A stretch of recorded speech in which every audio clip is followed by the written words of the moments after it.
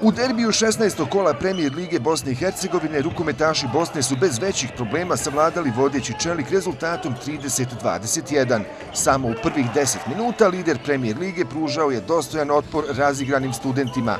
Nakon uvodnih 10 minuta na parketu je postojala samo jedna momčat i to ona domaća. Na golu studenta briljirao je sjajni Efendić i zahvaljujući njegovim odbranama studenti su postigli nekoliko laganih golova te su na odmor otišli sa viškom od pet golova.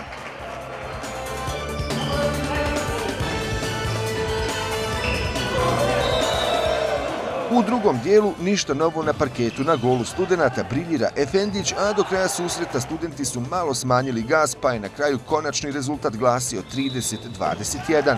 Kod Bosne najbolji je bio golman Efendić sa 26 uspješnih odbrana, a Hrbat je sa osam pogodaka bio najefikasniji igrač susreta. Nisam se bojao poraza ni u jednom momentu, ja nisam sumnjao da će moja ekipa pružiti maksimum u sebe.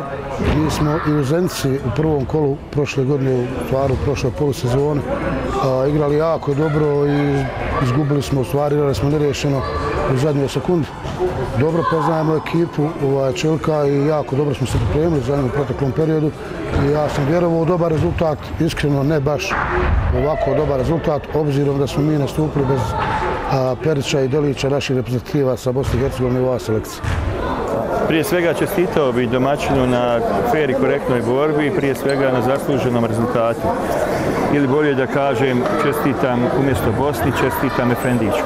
Stvarno bio fenomenalan i odlučio je ovaj susret po evidenciji je između 26 i 30 obrana, što je praktično ovaj, e, nemoguće pobijediti protivnika sa takvim golmanom.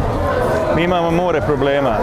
Begagić je nakon 14 dana došao upravo danas iz Njemačke, tako da nije imao ni jedan trening posljednjih 14 dana, a vidite i sami da ne možemo nadoknati ni nedostatak Kurema, pogotovo e, Kadića koji su povrijeđeni.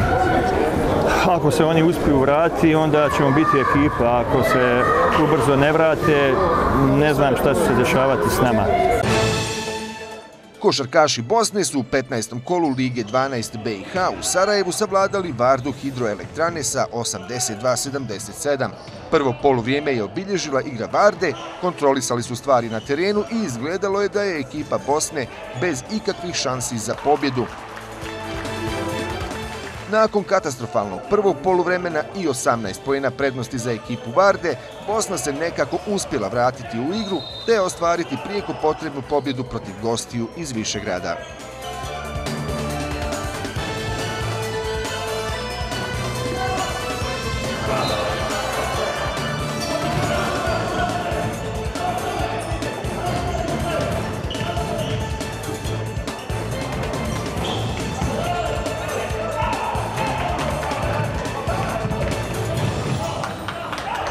Veoma teška utakmica, uspjeli se vratiti posle prvog poremena koje smo odigrali kao što smo vidjeli katastrofalno, uspjeli smo se vratiti na 18 razlike, stići ekipu Varde, vrlo dobro ekipu Varde i za drugo poreme sve momci mogu samo čestitati na borbenosti ako ovako nastave i u sljedećim utakmicama vjerujem da neće imati problema za, za nastav prvenstva da osvojimo što bolje mjesto. Pa jedna prava takmičarska utakmica, mislim jedan pravi derbi kola, što sam ja najavljivao i pre utakmice. Mislim da je ovo utakmica koja će obeležiti kolo. Mislim da je taj epitet i opravdala. Mi smo prvo polovreme igrali u sistemu, kontrolisali stvari na terenu. U drugom polovremenu smo pali prevashodno u obrambenoj fazi. Nismo ispoštovali neke dogovore koje smo prvo polovreme poštovali. To je rezultiralo da se ekipa Bosne vrati, da uđe u neku egal završnicu. Iako mislim da mi smo trebali da rešimo utakmicu ranije.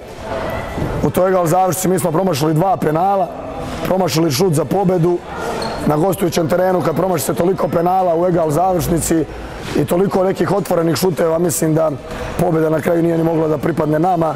Ekipi Bosne čestitam na pobedi i želim im da obstanu u ligi i da se dogodne takmiču premier ligi. Košarkašice Devite savladali su na Pecari u 19. kolu ABA lige ekipu širokog rezultatom 73-68. Naš mladi i talentovani centar Jusuf Nurkić se vratio na teren i opet bio odličan u dresu C9. Ubacio je 11 pojena, imao 3 skoka i na kraju imao indeks korisnosti 12.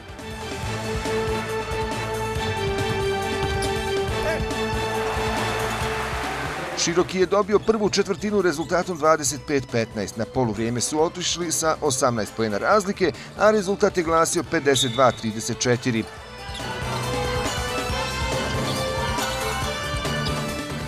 Ipak Široki je odgovorio nešto boljom igrom u trećoj četvrtini utakmice. Dobili su je sa 24-18 i u posljednju ušli sa 12 poena za ostatka. Cedevita je na kraju ipak lagano privela meč kraju. Najefikasniji igrač u redovima Zagrebačkog kluba je bio odlični Nolan Smith sa 19 poena i 5 asistencija.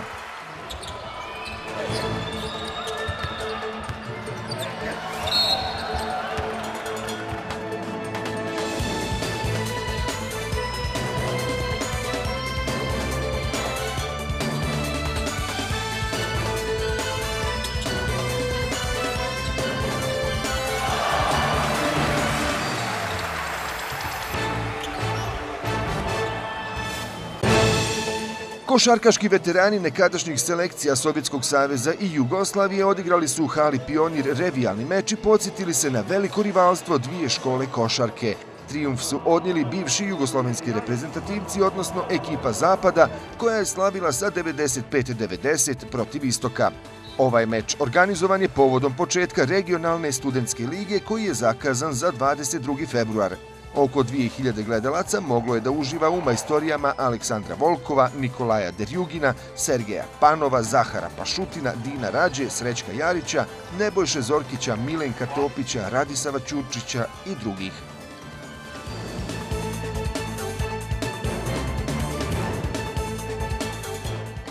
Danas u ovom prokletom svijetu gdje samo novci ovaj, važni, gdje se ne radi ništa, se ne trenira kako se treniralo prije. Mislim da je to dobar početak da se vrati ciklus opet. Ovaj, Izvaredan trenutak da se vidimo i družimo se sa igračima i protivnicima iz protivničke ekipa s kojima smo provali jedan veliki i dugi niz e, godina igrajući jedni protiv drugih i evocirajući malo uspomene na to vreme. Apsolutno nema igrača koji mislim, nađe se, nije da se ne nađe, ali prije tako bilo u 3-4 u svakoj ekipi. A danas kad vidiš jednog, ja odem na Final Four, dakle, gledat najbolje četiri ekipe u Evropi, lani. I ne vidiš centra koji odigra leđima koš. Samo se tuku, mlate, e, vuku za ruke, ko jači. Nema